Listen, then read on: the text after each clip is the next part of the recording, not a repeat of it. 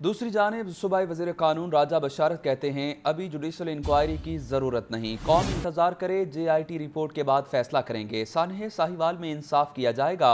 हुकूमत ने C T D का मौक़ तस्लीम नहीं किया। कल भी हमने कहा था कि जो भी इस वक्त तक मौक़ सामने आया है किसी का भी है। बशमूल सी डी डी के। हमने उस पे इतफाक़ नहीं किया इसीलिए हमने जे आई टी बनाई है।